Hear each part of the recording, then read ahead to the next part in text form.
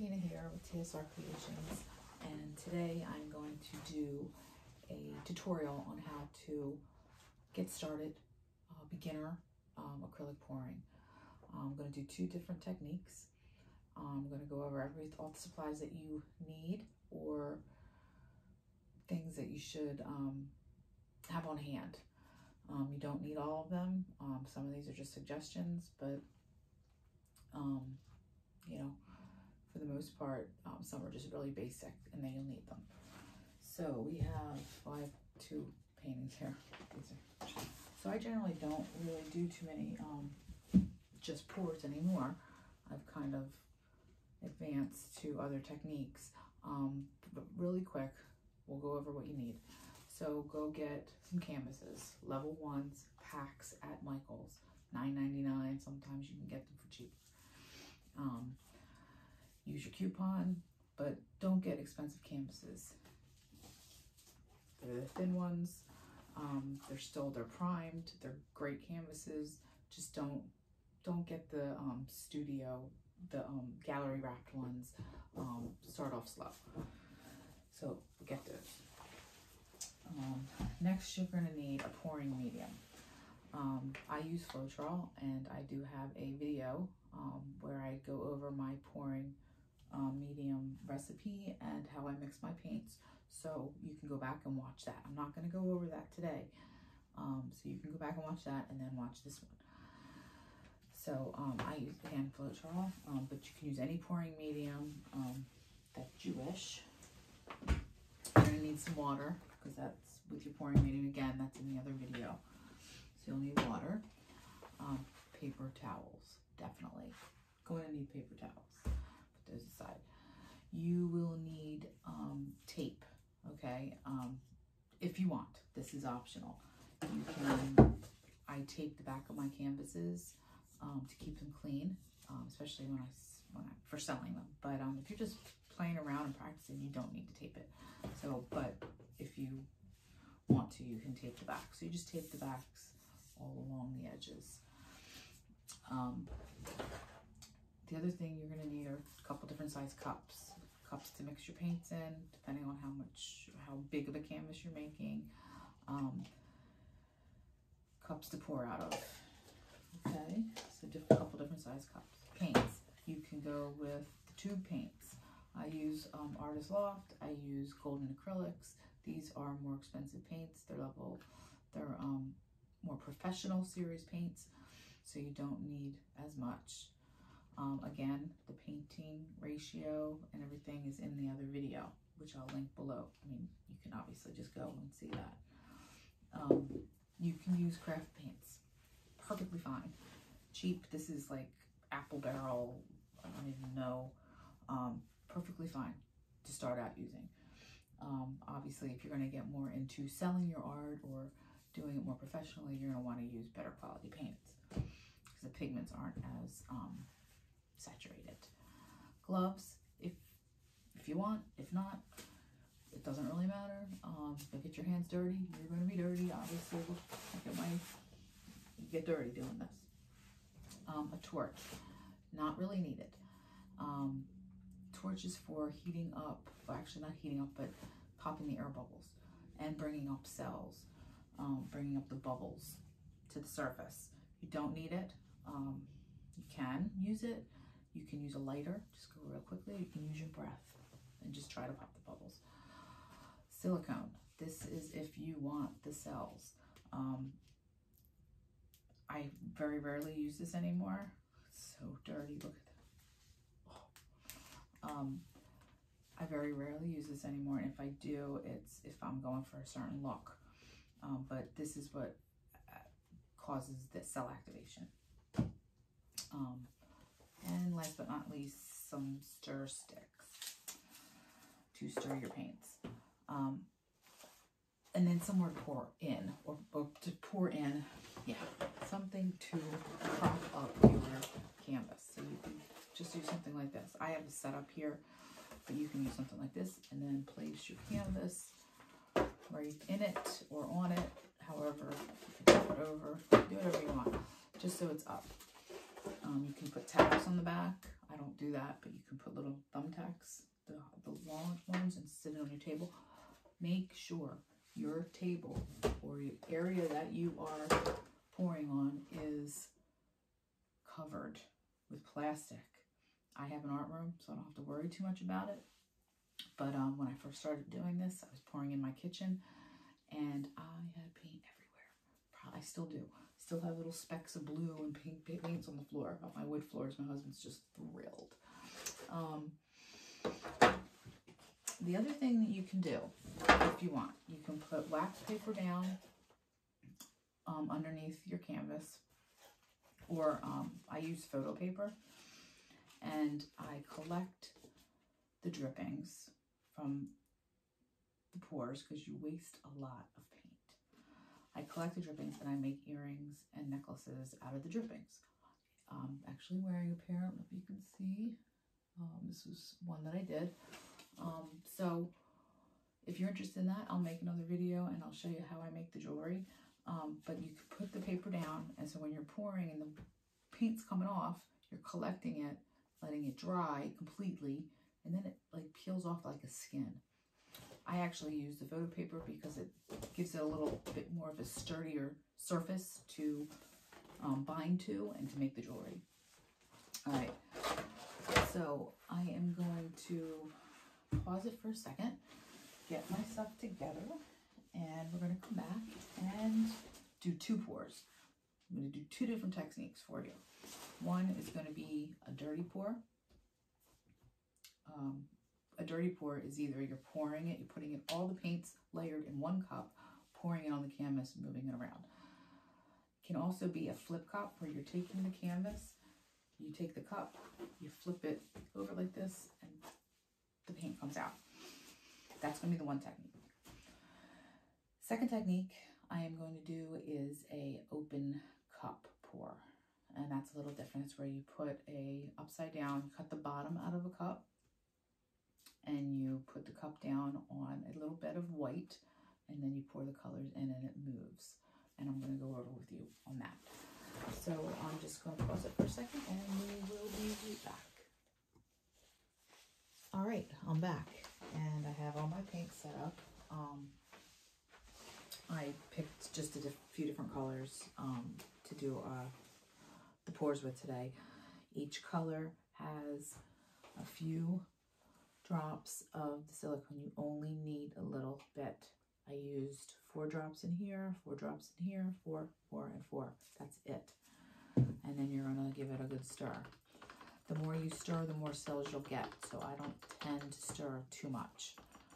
Um, the less you stir, the bigger cells you'll get. Um, the more you stir, the smaller cells you'll get. I like bigger, fat, juicy ones. Okay, so so the only um, color I do not have silicone in is my white. Because this is my base. All right. So I'm going to put these aside. And get my canvases ready. All right. I have all my supplies. I have my paper towels. All right. So I have two canvases here today.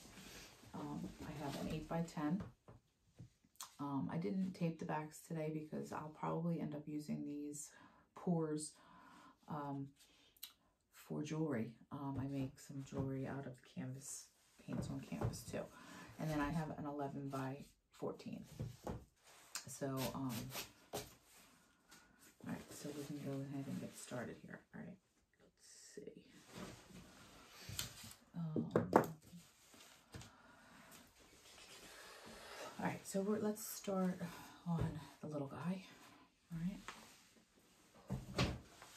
Um, we're gonna take our, we're gonna do the flip cup on this guy. So for a canvas this size, you probably need maybe about four ounces of paint. So that's, this is, well, maybe like, no, this is a, I usually do like half the cup. And this is, I think this is a 16 ounce. So you're gonna almost eight ounces. That's kind of a lot for this canvas, so I'll probably do a little less. But we'll, you'll, you'll see. All right, so we're going to start with, start start, I always start with just a little white in my bottom of my cup. So you're just going to pour it in there. And then I'm going to go in with my other colors. Now they're going to mix and I want them to mix. Okay. The dark blue, I'm going to go in with a little aqua. And then this little, this is a um, violet, light violet blue. I'm going with that.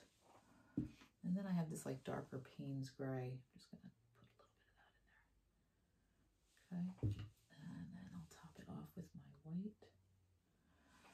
And that's that's it. And that's kind of a lot of paint for this canvas because I'm not, I'm not used to doing it. Then you stick your little stick in there.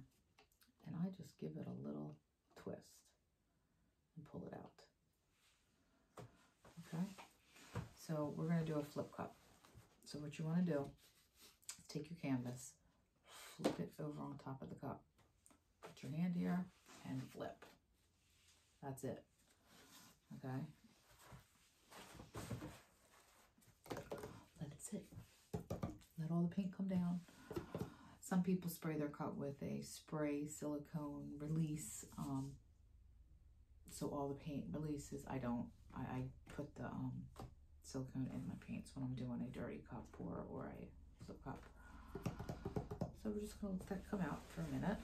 Let it sit, be patient. Um, do do do do. Okay, that's probably enough. All right, so then you're gonna decide what you want to do with it. You can just pull it off and let it go. You can pull it and go to the side. Um, you can pop a hole in it. You can punch a hole right here a couple times, and then it, the air is gonna fill the cup and it's gonna start to move. Um, why don't we do it like that today? So I have a tack here. And I'm gonna go pop the hole in it. As you can see, it's starting to come out. There it comes.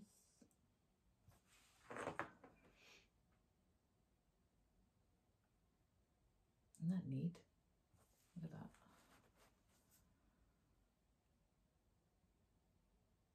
All right, so that's all it's moving. So now I'm just gonna release the cup. All right, like I said, that was kind of a lot of paint for this. Look at the inside of my cup. You see that? All right.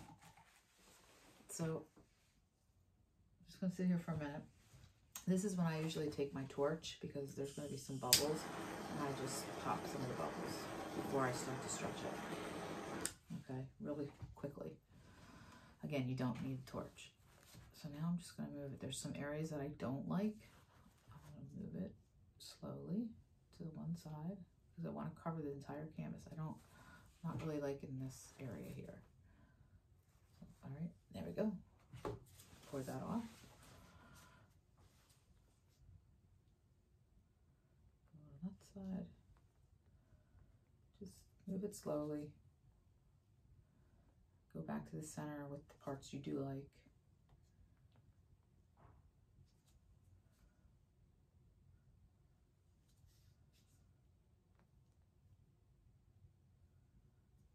and make sure your sides are getting done. See what I mean about all the drip right here? I didn't put my paper down. I should have, but I, I, I didn't listen to myself. all right. So, so this is pretty good. So over here, I don't want to mess this up. So I'm going to leave this little section open. If you were doing the whole canvas, you would continue to move the pour over, but I make beach scenes and I kind of like what's going on in here and I usually add my a beach in there. So for this one, I'm going to leave it as such because, it, well, maybe not. I'll just go over. What's the difference? It is a video, right? Tutorial. All right, there we go. Bring it back. All right. So you just want to make sure you got your sides and you just can dab the sides with your finger. You can pick up some of the paint, dab it. Just make sure you got your all your sides covered. So that's pretty much it for that. I kind of like the way this one looks. All right, so I'm gonna put that aside and go wipe my hands. All right,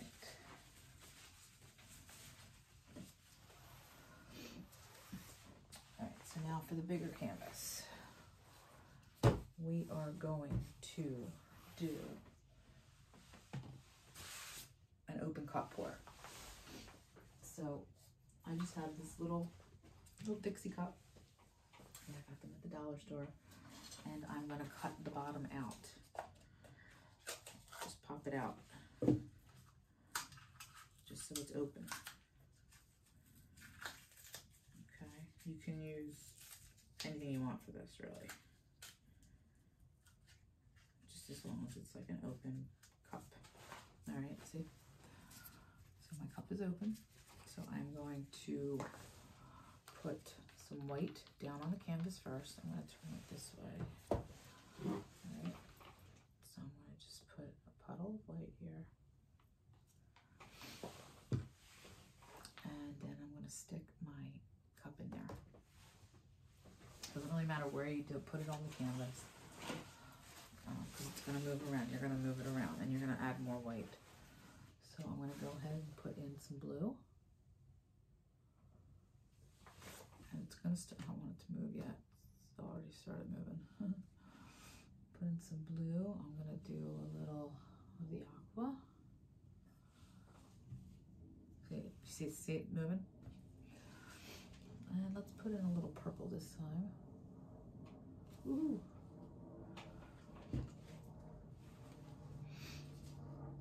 All right, let's just wait and see what happens there. So it's starting to move. You see the colors coming out into the white. So I'm just going to add a little of the Payne's Gray. Oh, here we go. I'm moving now. And now I'm just going to take the canvas and kind of move it around. Just move it around a little bit.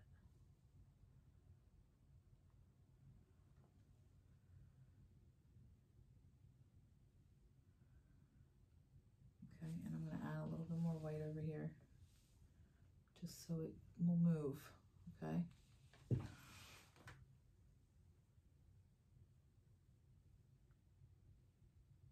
See, there's a lot of color underneath the white here. All right, so I'm to bring it down a little bit over here. And it's going to add some more color.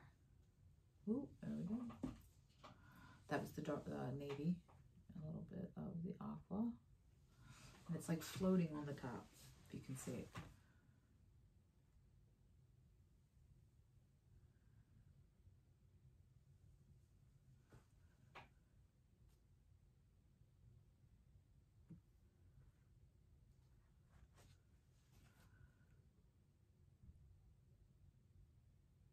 And I'm just bringing it over. I want it to start going in a different direction. And I'm just going to add a little bit more, all right? I'm going to put a little bit more purple in. And maybe I'll use this lighter uh, color. I didn't use it before. Might as well. A little dark. All right, we got a lot of color on there. We got a lot of paint on there. Gonna, uh, that's good. All right, so I'm going to move it around.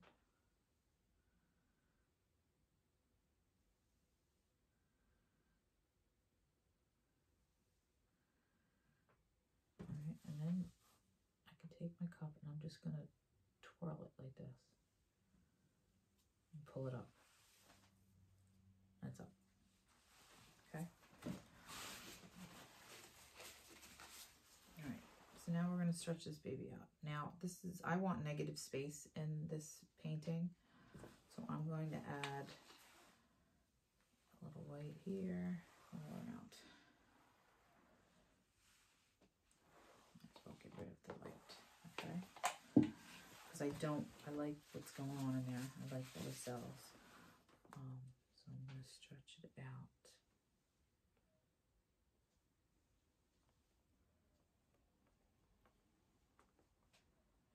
And just move it to side to side. Get your edges. You'll you'll get a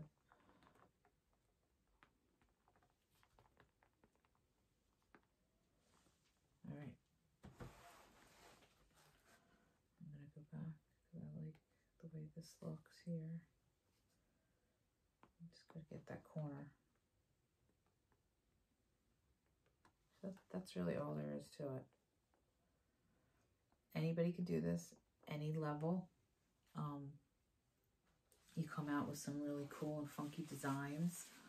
Um, and then as you get better at it, you can try different techniques. There's so many out there. Um, there's different ways to mix your paints, um, things to mix your paints with, um, ways to put the paint on the canvas, um, blow dryers and swiping tools and uh, airbrushes, everything. You can do it with this. It, um, it, there's just a lot of possibilities. Um, well, that's pretty much it. Um, so this is your beginner acrylic pouring. Um, if you haven't, now this, oh, by the way, this is when you can torch it, but I really don't need to. I don't really want to, so I'm not going to. There's not that many bubbles. Because um, if you do torch it and you like what you have here, you torch it, a lot of white's going to come up. And that's going to ruin the look I have right here. And I really, it's really some really pretty colors in here right now. The purple and the blue and the aqua really mixed really nicely together. So you just have to play with it.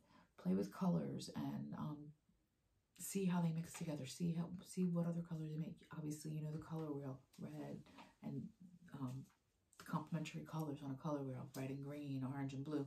So you just have to like kind of play around a little bit. Um, I kind of just, you know, I go, I, I paint by sense. I, I like these colors together. I think they're going to look good together, and they usually do. Um, been a few times where I scrape it.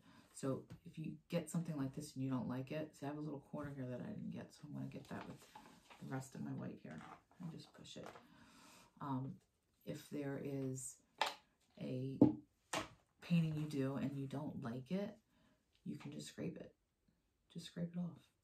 And you, I mean, you waste a lot of paint again, but um, uh, if you don't like it, what are you going to do with it? Um, you can pour over them you can. You just have to make sure you don't have to clean your canvas um, with Dawn dish soap um, really well because the silicone will come through, um, especially if you're going to use canvas for something else.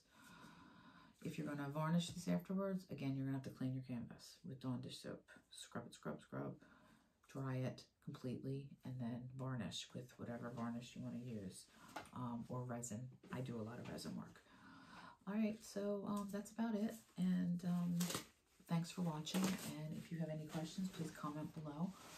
Um, I will try to answer you the best I can. And um, trying to grow my YouTube channel. So please like, subscribe, and all that good stuff.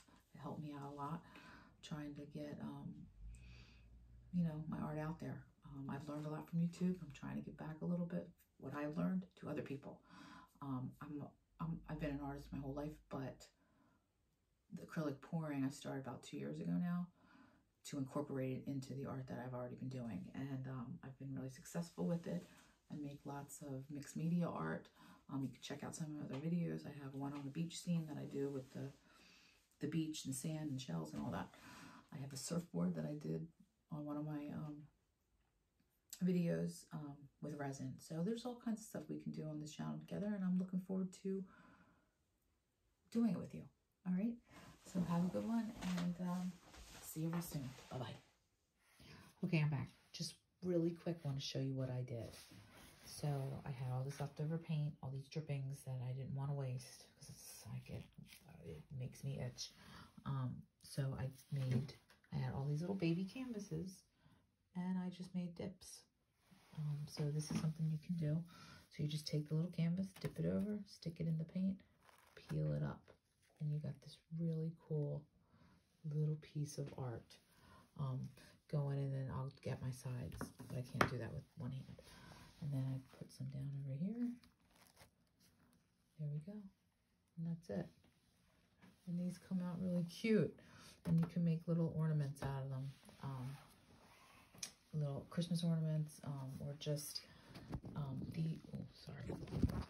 These came with little stands, um, so they could just be a little piece of art on their own. All right, and I think these are three by three, three by three, or two by two. I don't know. They're just little baby canvases, and I made a whole bunch of them, and I will have little ornaments. Um, all right. Thanks. Bye-bye.